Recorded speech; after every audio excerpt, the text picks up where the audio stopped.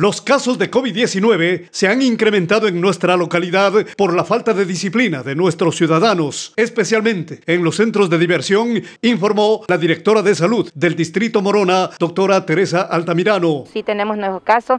Eh, nosotros estamos reportando a planta central y también a la zona.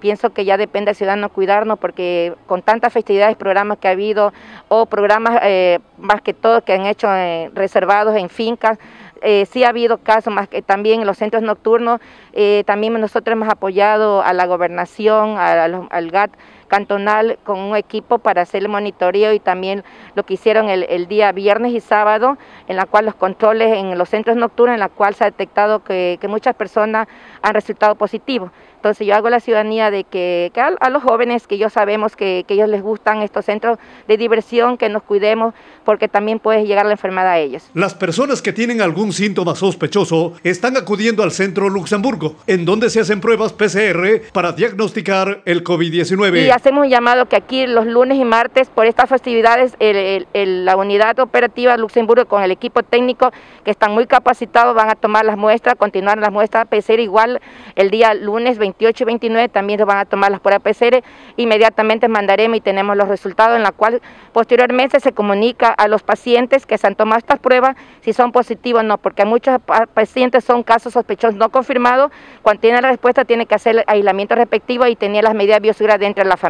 Tenemos una nueva cepa eh, del virus, pero depende de nosotros. Si esta es, actúa más rápido que lo que tengamos actualmente, pero si nosotros nos cuidamos, cuidamos a nuestra familia, porque tenemos que evitar que nuestros adultos mayores con enfermedades crónicas pueda complicarse, una persona con discapacidad puede complicarse, o un niño también porque ya tenemos casos de niños menores de un año también eh, con casos positivos que también se pueda complicar. Entonces hago un llamado a la ciudadanía nuevamente de que por favor eh, hagamos las medidas preventivas, acción preventiva y los protocolos de bioseguridad. Del coronavirus o COVID-19 debemos cuidarnos por nosotros mismos, no esperar que alguien nos exija, indicó la autoridad de salud. La ciudadanía tenemos que hacer conciencia de que si nosotros no nos cuidamos no nos va a cuidar nadie.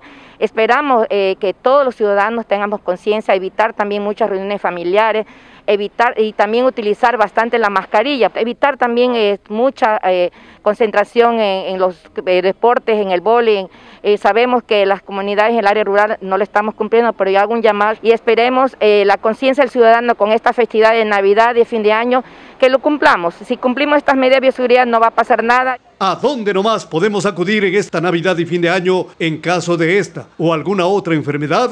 Le preguntamos. Sí, tenemos un plan de contingencia. Nosotros tenemos, eh, eh, va a funcionar el INFA.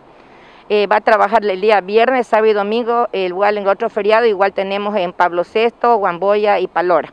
Sea, todos tenemos un plan de contingencia que se ha comunicado a la coordinación zonal y tenemos el equipo preparado médico para la toma y también las atenciones.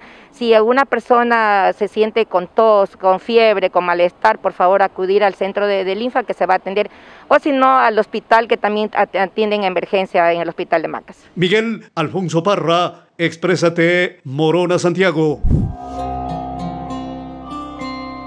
Primer informativo digital de la provincia.